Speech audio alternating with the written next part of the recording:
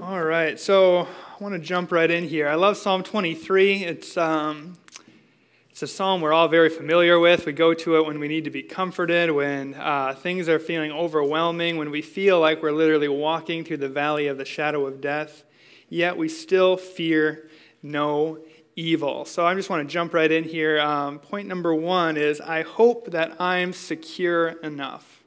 I hope that I'm secure enough. We all think about this. We, uh, depending on where you live, uh, you might lock your doors at night. You might lock them with several things at night. I remember when I first moved to San Antonio, I was like, lock it, lock the deadbolt, and I'm like, I feel like I need about three more locks here. This isn't quite enough. Like, you know, you just when when you're not comfortable, when you're out of your element, security becomes important. And um, if without security, you can't be at rest. Without security, you can't sleep. Without security, you can't function. Without security, you can't do what you've been called to do because you're too worried about um, if, you're at, if you're being threatened or not. I think, of, I think of the builders coming back from exile, going back to Jerusalem or going back to their city and rebuilding a wall they couldn't rebuild it because they're constantly under attack. They had to have people on rotation that were defending so they could be secure enough to do the task that was set before them. So, security is just fundamental. Going into psychology, uh, if you talk about the hierarchy of needs, we need air, we need water, we need food, and then we need security. Like that is right after our basic needs. We, we absolutely need to feel secure. So, how do we feel secure? Read God's word. If you're if you don't feel secure, if you're not at peace, if you're uncomfortable, if you're out of your element, if you're struggling with things, get in God's word. Get in God's word. Glean from God's word. Absolutely. God's word will bring you through. It'll bring you life, it'll bring you hope, it'll bring you peace, it'll bring you security. And I love the passage of Psalm 23. So let's just take a look quick at Psalm 23. It just says, "The Lord is my shepherd." I shall not want. We could just put a period right there. We could be done with it. If the Lord is our shepherd and we shall not want, that means we don't need anything. I'm not lacking anything. I don't have anything left. The Lord is my shepherd. I shall not want. I don't have any other needs. I don't need anything. The Lord's my shepherd. I all my needs are met. We could just we could be done right there. But what people like to do, they, they sometimes say, Hey, I'm a Christian. I serve the most powerful God, the creator of heaven and earth, an all powerful, all knowing, omnipotent, perfect, eternal God. And because I serve him, I don't have all I need. I'm not at peace right now. I can't get through this. I, I'm still struggling for things. It's like, wait a minute. No, no, no. Let's get that. Let's, let's look at this again. The Lord is my shepherd. He is my shepherd. And therefore, all your needs are met. Therefore, you have no wants. Therefore, you don't need anything else. He makes me lie down in green pastures. He gives us rest. He, sometimes when I was a kid, I needed to, like, my dad would make me lie down. I'd get up, put your head back down on the pillow, head back down on the pillow, lay down. Sometimes we don't have the sense to be at rest ourselves, and God gives us that rest that we need. I love, I've um, done messages on this whole psalm before, and you could break this apart and speak an entire message on Psalm 23. I love it, but um, he leads me beside the still waters. He restores my soul. He guides me in the paths of righteousness for his namesake. Even though I walk through the valley of the shadow of death, I will fear no evil, for thou art with me. Your rod and your staff, they come from me. You prepare a table before me in the presence of my enemies. You've anointed my head with oil. My cup overflows. Surely goodness and loving kindness will follow me all the days of my life, and I will dwell in the house of the Lord forever.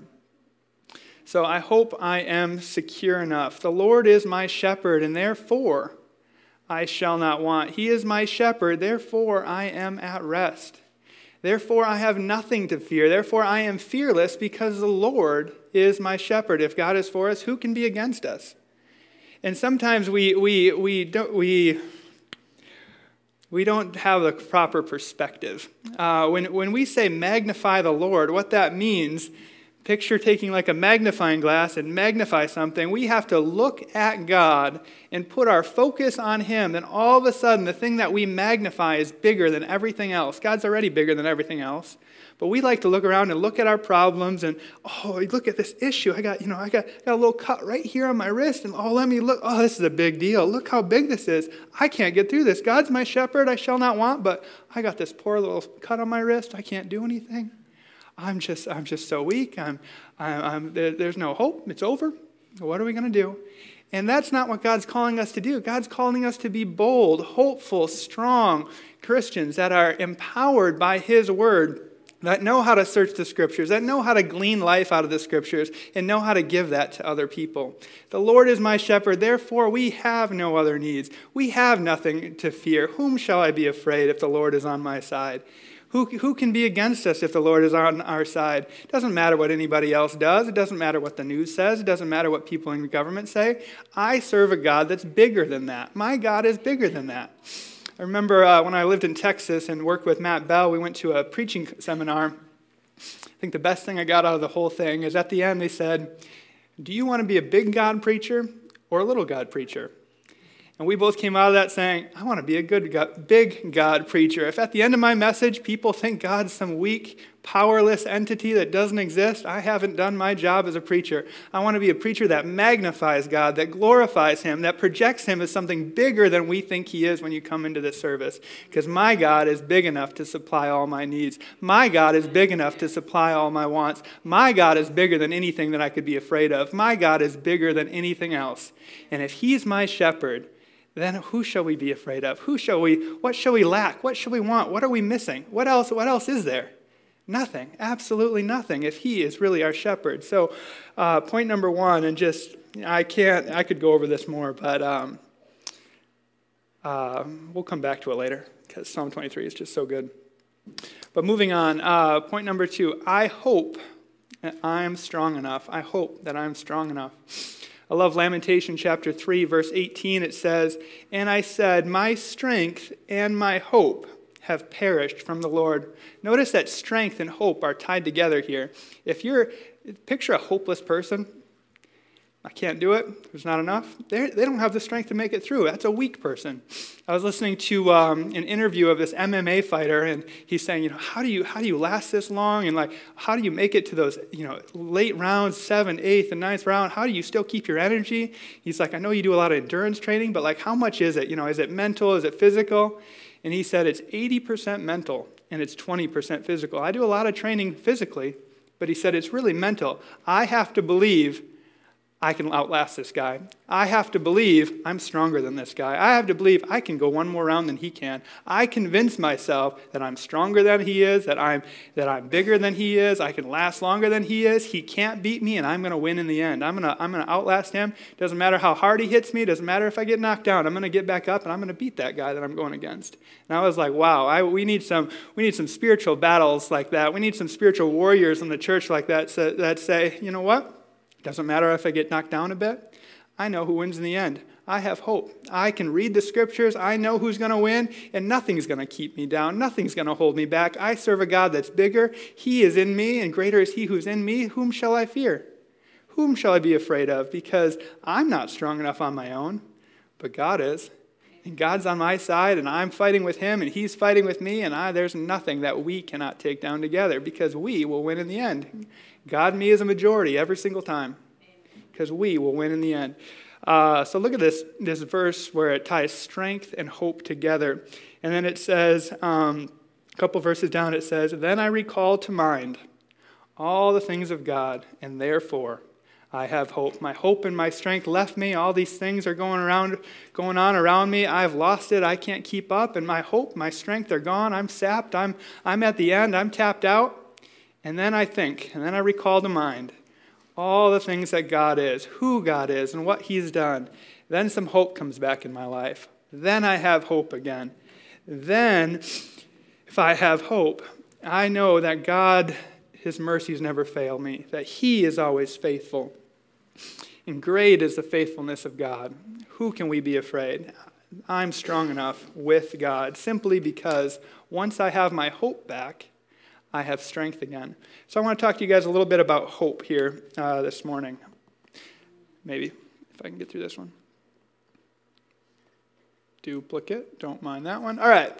Number three, I hope that I can hope enough. What is hope?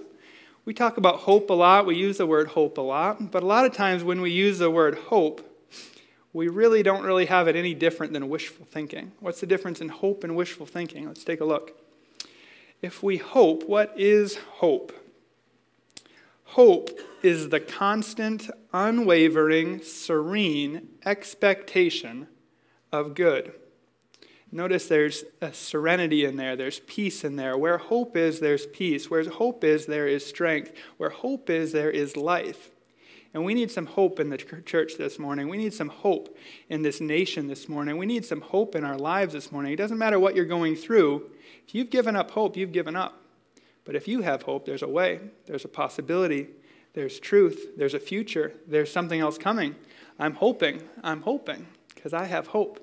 And that hope isn't just wishful thinking. Oh, I hope I win the lottery. I hope there's nice weather tomorrow. I hope, you know, this. And a lot of times we use the word hope, but true biblical hope is based on something more than just a wishful thought. So we have to have our hope in something because I can hope all I want in nothing. I can hope in myself. I can hope that the weather will be good. I can hope in this or that. But it is no better than wishful thinking because my hope isn't rooted in anything. My hope isn't grounded on anything. My hope isn't based in anything that gives me an assurance that what I'm hoping for will actually come true. And if you have no assurance, then you're just wishing. Then you're just you're just hoping. It doesn't matter. But hope is something different than that. So what is this good? If we're if we're hoping for good and have this expectation of good, some people that are always hopeful and always expecting good are called optimists. There's no room for Christians to be anything other than an optimist, according to Scripture. We should be Christian optimists. But what is that good we're looking for? That good is the promises that are found in God's Word. It's the strength and assurance based on who God is, who his, what his character is, his faithfulness, his strength, that his promises are going to come true. Does God put promises in his word? Absolutely. Do I have hope that those promises will come true? Yes, I do. Are those based on something that's absolutely true and founded and fundamentally right? Yes, they are. I can hope in anything else I want. Doesn't matter. But when I put my hope in the truths that are in God's Word, that hope is founded on something greater than me, and that hope will always come true. And where there's hope, there's life. Where there's hope, there's strength. Where there's hope, there's endurance. Where there's hope, there's tenacity because you know what? It doesn't matter how things look. I'm still going to win. It doesn't matter how things look. I, I, can win in the end. It doesn't matter what happens. It doesn't matter. It does not matter because I have hope in something bigger than every circumstance, bigger than everything I see, bigger than everything I can look around or, you know, it doesn't matter what gets in my face, how loud it is, how ugly it is. It does not matter because I have hope in a God that's bigger than this situation, bigger than me and bigger than my enemies and bigger than the devil under my feet. Because I have hope in something greater than myself. And that's what hope is. That's what true biblical hope is. Where does hope come from? Does hope just spontaneously arrive? Is it something I can go get? Is it something I can cultivate? Where does our hope come from?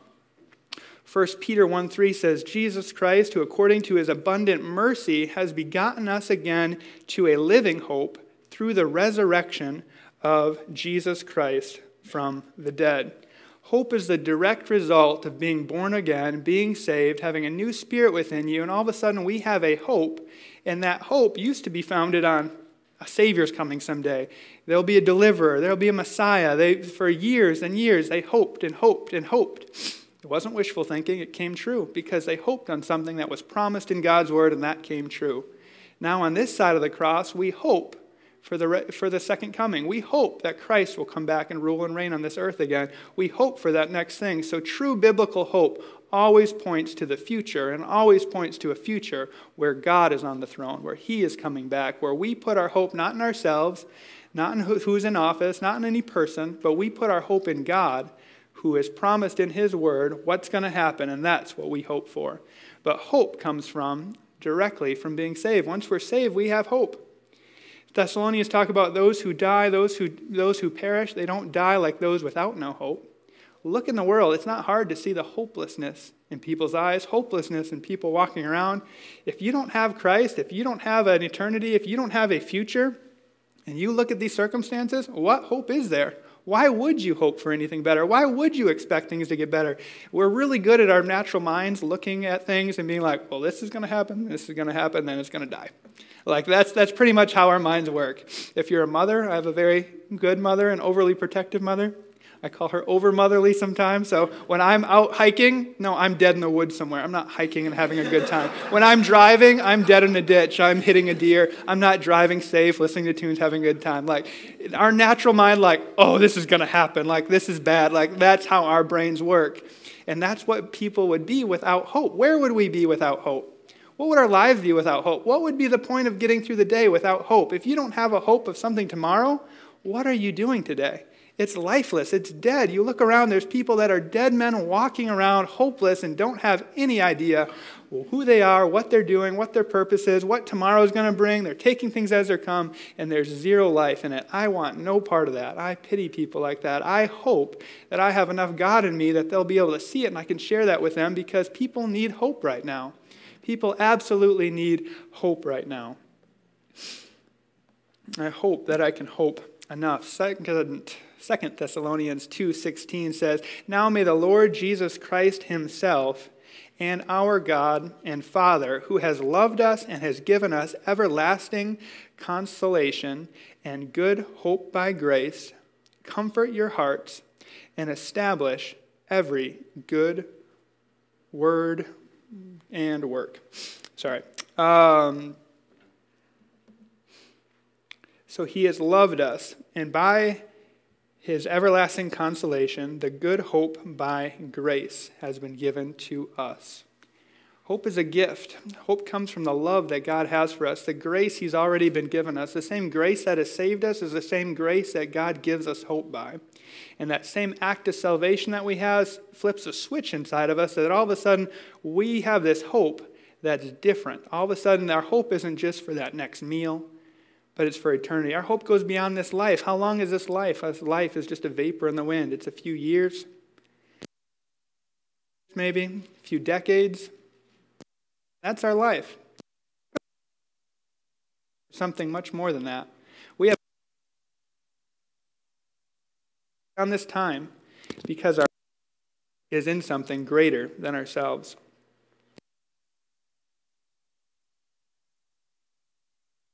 God's love. The source of hope is in God's love. Let me switch mics here.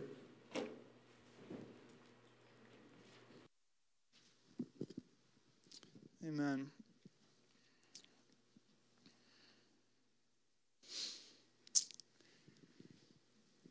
Now we should be familiar with this one. 1 Corinthians uh, 13, it's called the love chapter in the Bible. But look at 1 Corinthians 13 13. It says, Now abide faith, hope, and love. These three, but the greatest of these is love. I've heard a lot of messages on love, heard a lot of messages on faith. You don't hear a whole lot of messages on hope, and I hope that I can accurately. Am I good now? Switching back. Maybe. Nope, turned it off. There we go. Now we're on. There we go. All right, so 1 Corinthians, faith, hope, and love. And the greatest of these is love, but we're talking about hope and hoping this works out. And might switch back to the handheld. But faith, hope, and love. This verse says they're all eternal. and they're all interdependent and, and distinctly different. So if we have faith, hope, and love, what are the differences between these? And, and because sometimes we say, you know, I have faith that this is going to happen, or I'm hoping that this is going to happen. We kind of use those words interchangeably sometimes, but what's the difference between those? So they're, uh, they are all different. And 1 Corinthians says they all remain. They're all enduring. They're all from the beginning and they're all eternal. They're everlasting faith, hope, and love. Let's take a look at it. So, faith, sorry, hope is based on true faith. What is faith? What is faith? We know from Hebrews 11 it says, faith is the substance of things hoped for. Faith is the evidence of things not seen. in the Greek it's the underlying foundation of things that we hope for. People say, How can you be like that? You don't have any evidence. Faith is my evidence. I have faith, and therefore that is evidence. That is the substance of things that we hope for, that we believe in, that we look to, and that's the thing that is has to be rooted and grounded on something bigger.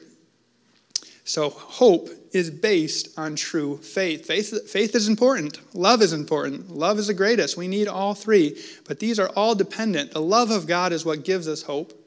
God gives us the grace to be able to have faith in Him, and we base our, our, our faith is based on hope. It's getting confusing, I know, but faith is a substance and the evidence of things hoped for. And those things are based on the truth of God's Word. Hope is in the mind. Faith is in the heart. Faith is in our spirit when we truly believe in something to our fundamental being that we believe God says He is who He says He is. We believe God's word. We can believe that in our heart. But hope is in our mind. Hope is in our mind. Hope is the way we think. Hope is our outlook, our attitude, our, our optimistic joyfulness that we see situations and we see that it can get better, not that it's going to decay and get worse. Everything in this life naturally has a bend toward decay, naturally it will get worse. But we as Christians say, you know what? It would, but we believe in God. God makes things better. God gives life where there's death. God gives healing where there's brokenness. God brings order where there's chaos. God brings things and makes things better than they were. So we have a hope and an optimism that non believers don't have. So there is no room for Christian pessimists because as Christians, we believe in a God that has second chances, that has redemption, that makes things better, that brings healing, that brings strength, that brings growth, that brings potential to the callings that He's already put in our lives.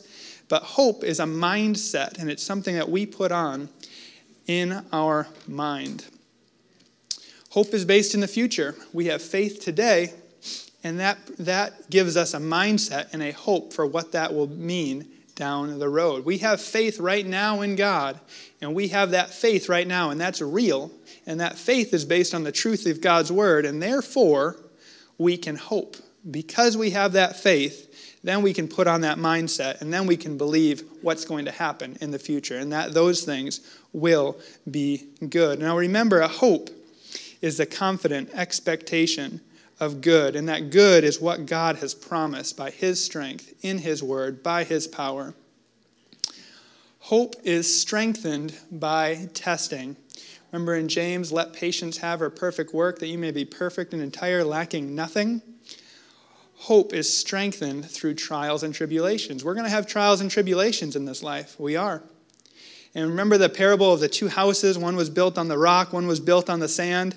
They can both put all the hope they want in their foundation, but unless their hope is based on something solid, unless their hope is based on something eternal, outside of the shifting sands of feeling and culture and everything else, unless that hope is based on something, they can hope all they want and it won't mean anything.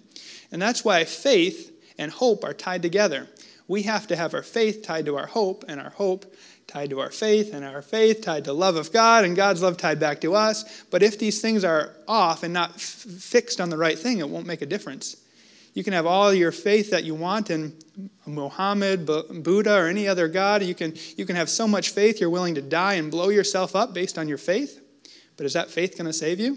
Unless it's based on reality, unless it's based on truth, unless it's based on God's word, where ultimate source of truth comes from, doesn't matter. I can have all the faith I want in a little set of butterfly wings that's going to lift me to the moon, but it's not going to do it because it's not based on anything bigger than myself, anything true. It's not going to work. It's not true. So it's not simply believing, not simply hoping, not simply having faith in something. It's having faith and having belief and having hope into something bigger than ourselves that's true, and it's true because it's in God's Word. So hope is also strengthened through testing. Hope produces steadfastness, endurance, and perseverance. If you have your Bibles, uh, turn with me again to Romans chapter 5 as in our reading here this morning. But I love this passage from Romans 5, verses 1 through 5. I'm going to read it here. It says, Therefore, having been justified by faith, we have peace with God through our Lord Jesus Christ, through whom we have also access by faith into the grace in which we stand. And we rejoice in hope of the glory of God. And not only that, but we also glory in tribulations. What now? We glory in tribulations, we praise and exalt, and we're happy in tribulations? That doesn't make sense. You're not supposed to be happy in tribulations. That's not how that works. But it says we glory in tribulations. Why? Because we know that tribulation produces perseverance, and perseverance produces godly character, and godly character, hope. Now, hope does not disappoint because the love of God has been poured out in our hearts by the Holy Spirit who was given to us. I've heard pastors say the Holy Spirit is just something, you know, that's an add on. You get saved, you want to make sure you're going to heaven. If you, if you dabble in the Holy Spirit, good. If not, doesn't really matter. No, no, no, no. The Holy Spirit is absolutely essential. When you get saved, you must be filled with the Holy Spirit. When you're filled with the Holy Spirit, it gives you fruit. It says, Where is hope in the fruit of the Spirit? It's not there, but it is there in the armor. it, it is there. We'll get there in a little bit. Hope is absolutely essential. But if you're fruit changes, think of the fruit of the Spirit the love, the joy, the peace, all those things faithfulness, kindness, gentleness, goodness, self control all these things are should be in the life of a spirit filled Christian, somebody that believes in the Word of God and is being filled and feeding on the Word of God so that in their daily lives they can exhibit these things that are an evidence and a witness to the people around us because all of a sudden, when the whole world is going in a direction or a place we don't want it to go and stuff's hitting the fan and we have a good attitude and we're happy and we're doing good, we're secure, we're sound, we're still doing what God has called us to be, and people are losing their minds next to us, they're saying, How is he okay? How is she okay? How is she still happy? How is she able to do that? What does she have that I don't have? What has he got that I don't have? I want some of that. I want some of that old Carmen song. Man, that's old. All right, but um, we have to have hope and faith in something that's grounded, something that's true, something that's bigger than ourselves. And we see this progression in Romans chapter 5, where first it produces perseverance, which produces character, produces godly character. That godly character is the fruit of the Spirit. It's the love, the joy, the peace, patience, gentleness, kindness. You can usually tell who Christians are by how they act. If you can't tell that you're a Christian by how you act, you might not be acting like a Christian. You might not be feeding on God's word. You might not be exercising your faith. You might not be working that out, working your salvation out. And finally, proven character and hope.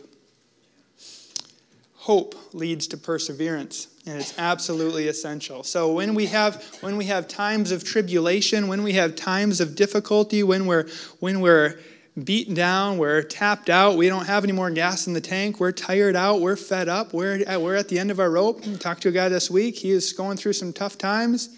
He's at the end, he's, he's got a short fuse, he's, he's going through it. But he has hope. He has hope it's going to get better. He says, This is a time, this is going to pass. God's going to get me through this. I said, Amen. I prayed with him, believed with him. But if you say, This is it, can't handle anymore, I'm done, this is hopeless, this is useless, you're giving up, you're done. That's not what God calls us to be. He calls us to have hope. Hope in something better, hope in something greater, hope in a better days. And it's not just wishful thinking, it's, it's absolutely based on the promise of God's word. So you, you can say the same sentence. I can say, I hope tomorrow will be better than today. And I can also say, I hope tomorrow can be better than today. One is wishful thinking, but one is based on God's word and says, No, I know who God is. I know who his character is. I've been on my knees in prayer. I've done my business with God. I have a revelation and I know that he's going to come through for me. So I hope tomorrow will be better than today. And I'm basing off that off the truth of who God is, not wishful thinking. Not just, not just putting, writing down and putting it in a wish jar and hoping it comes true and crossing my fingers. That's not what hope is. Hope is based on something absolutely true that is the God, the Word of God that is bigger than us and bigger than anything we can be without Him. We have to have hope. And hope finally produces godly character. All right, we got the three F's fact, faith, and feeling. Fact, faith, and feeling. Get these in the right order. Get these in the right order. This is important. Listen to this. So, we have fact. Where does fact come from? Fact is truth. If you can have one set of facts and somebody else has another set of facts, one is true, one is not true. It doesn't matter what people say, one is ultimately true and what is not true. There is ultimate truth. Truth is not relative, it does not change. One is true, one is false. Truth ultimately comes from God's word, and the truth in God's word never changes. God says, I am the Lord your God, and I never change. I'm the same yesterday, today, and forever. God is a God of truth. God is a God of consistency. God is a God of faithfulness. And when we base things in fact in God's word, we can put our faith in that fact. So, first we have fact, first we have truth, then we put our faith in that fact. Then we believe to our fundamental core and our heart of hearts that what God's word says is true, what his promises say he means and he will follow through with, he will come through. And when we believe the promises and we believe what God's word says, that can change our feeling. And our feeling is manifested in the hope, in our outlook, in our optimism that something will get better, that this will improve, that God will come through. And I'm hoping. I'm not just hoping, but I'm hoping that God's going to come through. And if you get these mixed up, if you try to base if you try to switch these around and say, I'm basing my faith on feeling, that's the guy that built his house on the sand. He's saying, I put all my faith into the sand, but sand shifts just like feeling does. It doesn't matter what you feel today, you might feel something different tomorrow. Doesn't matter. But we as Christians aren't called to be that way. We're called every single day to get in our word and read the same truth, the same Bible, the same way it's always been for hundreds of years. And that means we believe the same truths and the same promises. And then we can change our outlook to be the same. And that outlook is always going to be a good one because we've been fed by God's word. We're not going to beat down, be beat down by the world, be beat down by the news, be beat down by what anyone says, by what we're going through, by anything else. We are going to be optimistic and hopeful because the God of gods, God of the Bible, has promised in His Word that He's going to come through, that He's bigger, that we win in the end. And when we put our hope and believe that, we can't help but that changing our feeling, changing the atmosphere around us, changing who we are, changing what we look to and what we hope for. And that is, that is fundamentally important. And it also goes back to spiritual warfare. We're in a spiritual battle. You can read in Ephesians, it says, Take up the whole armor of God when hope is, is given from, from regeneration, from birth, we have a new hope in salvation. It says, take up the armor of God. The armor of God is sitting there. We're baby Christians, we're born again. We can choose to pick that up and use it, or we can choose to leave it on the shelf. We do not inherently have the armor of God equipped, and we're not just able to use it like that. We have to learn how to use it. We have to equip it. We have to equip faith. We have to equip salvation. And if you, you say, where is hope in the armor of God? We have Ephesians, but we also have um, somewhere, uh, I think it's Thessalonians, Second Thessalonians. Nope. Anyway, somewhere in Thessalonians it says, can't find all my notes here. The, it refers to the armor again. It says, it refers to the breastplate of righteousness, and it refers to the sword of the Spirit and the helmet as the hope of salvation. We ultimately have our hope as our helmet. Just like faith is in our heart, we have a breastplate of righteousness and a shield of faith to guard our heart. We have a helmet that guards our mind, guards our thoughts, guards our thinking. And that's where we keep hope. That's where hope is. Hope is our mental outlook, our attitude. And that's how is in our head, where faith is in our heart. It's another difference between faith and hope. But the reality is, we're in a spiritual battle. We have to equip these things. We have to stand strong on these things. We have to use the Word of God offensively, just like we use the armor defensively. That means when we read the Word of God, we don't just read it, we read it with life. We read it with hope. We read it like it's being spoken to us, like it is right now. I just want to take a moment um, and read a passage that's been coming to me. I thought it was in Malachi. I kept looking all through Malachi and couldn't find it. It's in Habakkuk. Uh, let me just read a couple verses in Habakkuk. Uh, chapter 1, verses 1 through 5, it says, The burden which the prophet Habakkuk saw. O Lord, how long shall I cry, and you will not hear? Even cry unto you violence, and you will not save. Why do you show me iniquity and cause me to see trouble? For plundering and violence are before me.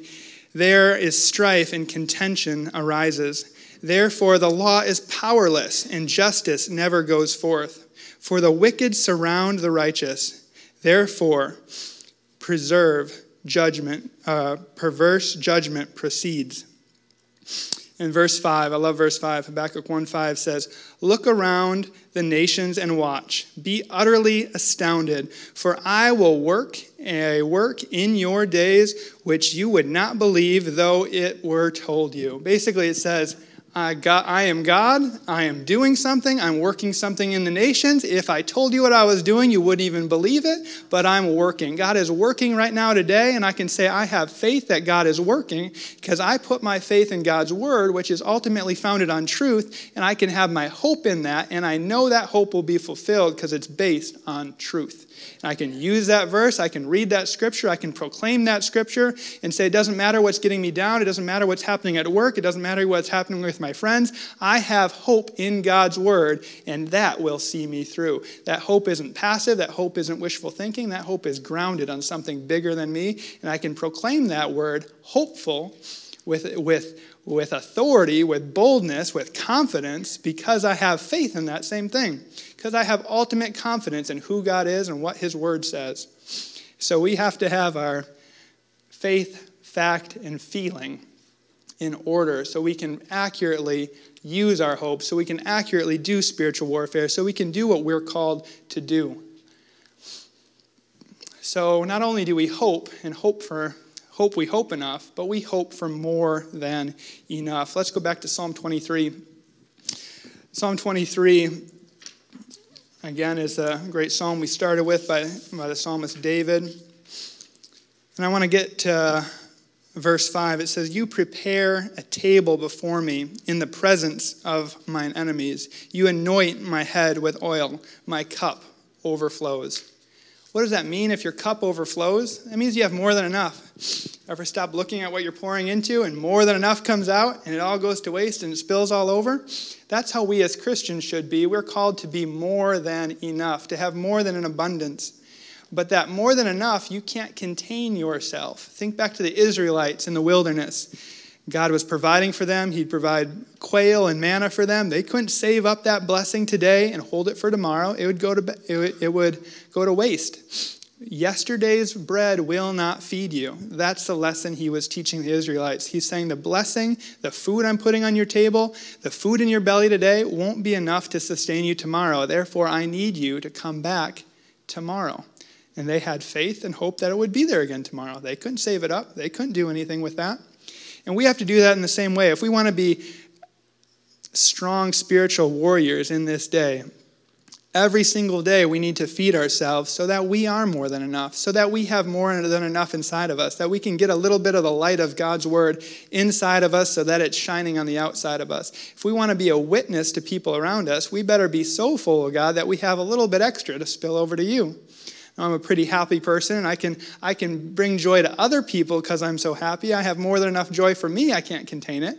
But I can give a little bit to you and you and you, and pretty soon I'm, I'm tapped out. Where do I get more? God's Word. Where do I get more strength? God's Word. Where do I get more a positive mental outlook or hope, true biblical hope? I read God's word. I put my faith in God's word. I understand what it says. I understand that those promises are true. I know that God will come through and do what he said he will do. That's what true hope is. That's what it's for. It's not just wishful thinking. It's not just, oh, you know, that's just what you want. That's selfishness. That's pride. It's not that. I'm saying God is on the throne. I know who he is. It might not be the way I think, might not be the way I picture it, might not be how it is but I know God's in control. I know that there are better days ahead. I know that He'll always take care of His own. Uh, look at Romans 8:28. That's one of the most hopeful scriptures there is. All things work together for good to those who are called according to His purpose. All things work together for good, but there's some there's some recommend, there's some prerequisites on that. Do all things work together for good all the time? No, they don't. But they do for people who believe in God's word, who are called according to his purpose, who are living right, who are doing what they're supposed to do, who've used this hope to gain some perseverance, who've been through some pretty hellacious times and come through it better people on the other end and have some good godly character that's been proven through the fire and able to stand the next time it comes worse. And it's coming worse, and it'll come worse. But that's part of it because through that, through that trial, through that tribulation, through that refining process, our hope can be made perfect. Our hope can bring about perseverance. Our hope can bring about godly character. Can you still hope if this happened? Can you still hope if you lost a loved one? Can you still hope in who God is if this happened, if this happened, if this happened? Some of those, some of those what ifs are pretty, pretty difficult. Some of those things would shake your faith. Are, are you going to be shaken? Do you have your hope grounded in something bigger than just circumstances? When everything is going good, it's easy to hope. But how about when things are going bad? Do you truly have the hope in God's word that his promises will endure? He'll always see his righteous. They'll never be forsaken. They'll never be found begging for bread. God will always take care of his righteous, doesn't matter what happens. I have that hope. I have that optimism. I have that faith. Doesn't matter what's going to happen because it's founded in something bigger than myself. It's not just wishful thinking. It's not just personality. It's not just smiles on my face that I'm forcing through bared teeth. It is true hope that's based on God's scripture. We need to have enough of that so that we can make a difference in who we're around. Did the catechism, catechism for Christian kids this morning, KKC, with uh, um, high schoolers and junior hires, and we talked about being salt and light, and that goes right along with it. How can we be salt and light in this earth if we don't have hope, if we don't have a light shining within us? Like what Brian said, the dark gets darkest just before the dawn. When things do get darker, light shines a lot brighter. We need a brighter light within us. We need a little more hope within us. We need a little more joy within us. We need a little more fruit of the Holy Spirit in us. We need more Holy Spirit, amen. We need a Holy Spirit in the church. We need a move of the Holy Spirit in this day and age. We need a revitalization of the church if we want to be brighter than the darkness that's coming for us.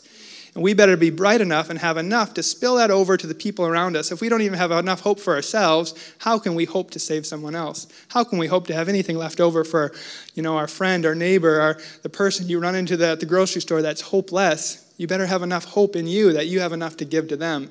And that hope isn't founded on you, and that source that you get hope from is endless, it's eternal, it's limitless because it's coming from God, because it's coming from God's word. We need to have a hope in something bigger than ourselves, better than ourselves. And that's not wishful thinking. That is based on the truths of God's word. That's based on fact, not feeling. That's based on fact, the fact and truths of God's word. David the psalmist understood this years before the Holy Spirit was ever given at Pentecost. He understood how to tap through, how to break through to that next layer. He said, My cup runs over. I am so full of the Holy Spirit that I have more than enough. I just give it off in praise. I give it off in worship. I give it off to the people around me because I can't contain the blessing of God. I can't help but share it with the people around me. David understood that in the Old Testament, and he's surpassing the time and age that he was in because he was so full of God, had such a perfect heart for God that he he under, had an understanding and a revelation of who God is better than what the people at his time and day and age had. He knew who God was. He knew who uh, God called him to be. He knew what his life was all about. He's supposed to be full to overflowing. And that's what we need to be as Christians. We need to have enough of God in us, enough hope in us, enough joy in us, that we have enough to share with that person next to us so we can be the witness, the light, the salt, the people that bring up people around us, people that make a difference in the lives around us. That's what we're called to be as people of hope that have more than enough.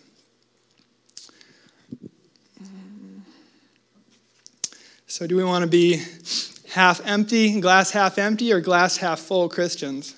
I don't want to be either. I want to be someone that has my cup full to overflowing, spilling out so I can fill that glass next to me overflowing, so I can fill that glass next to that person overflowing, so they can fill the glasses around them because I want to have enough hope and enough God inside me bubbling over that I can't contain, that I can't help but make a difference in my community, in my church, in my town, at my workplace, that people will be different, act different, be blessed just because I'm there. If, if, uh, if Sodom and Gomorrah can be saved for 10 righteous, God, this nation can be saved with just the people in this church, let alone the people in this nation and every church around us that has been praying and fasting and on our knees. When we pray, it means something. When we do battle in the Spirit, it means something. It's more than a hope, it's more than wishful thinking, it's more than making me feel better because I prayed. We take ground and move ground in the Spirit. We're going to pull the kingdom of God onto this earth and make His will be done here, not the will of the enemy, not the will of some person, not the will of some dictator, not the will of some evil empire. We are going to enact God's will on this earth, God's will for our nation, God's will for our country, because that's who believe in, and that's what we're called to do, and that's what we're praying for, and that's what we have hope in because we have our hope founded on something more than ourselves. I want to leave you with a, a passage in Romans chapter 8, if I can find it. Uh, it's not 8. Romans 15, 13. Romans 8, 15, 13. Romans 8. No, stop saying 8. Romans 15, 13. Not Romans 8. It says, Now, everybody say now. now. Now may the God of hope fill you with joy and peace in believing that you may abound in hope by the Spirit by the power of the Holy Spirit. Do you want to abound in hope this morning? Do you want to have your cup overflowing this morning? Get into God's Word. Get filled with the Holy Spirit. There's enough Holy Spirit in this room to overflow every single one of your cups. I believe it. Amen. We need a little more Holy Spirit. We need to abound in the Holy Spirit. So if you don't have that in your life and you want that prayer, turn this into a prayer and say, I'm going to pray Romans 15 13. Now may God of the hope fill me with joy and peace in believing, that I may have abundant hope, that I may abound in hope by the power of the Holy Spirit. In the name of Jesus Christ, I want to abound in hope. I want to abound in joy. I don't want to just get by. I want to abound. I want to be overflowing. I want to be next level. I don't want to just get through, just survive, just meagerly make it through. I just got to, you know, one more day. I just got to make it through the day.